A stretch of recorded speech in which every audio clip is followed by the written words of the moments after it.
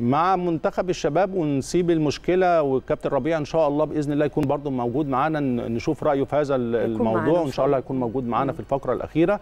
نروح بقى لمنتخبنا الأول. اللي طبعا بيستعد بشكل جدي جدا لمواجهة توجو إن شاء الله يوم السبت اللي جاي. كل الدعم أكيد والتوفيق لمنتخبنا القومي بقيادة الكابتن حسام البدري واللعيبة.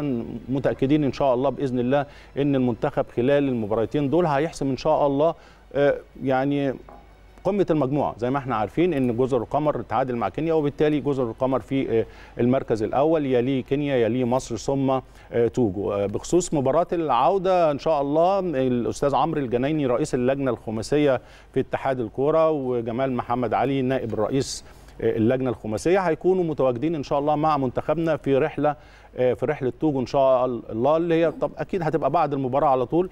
إحنا عارفين إن المباراة إن شاء الله المباراة الثانية هتكون يوم 17 إن شاء الله نوفمبر.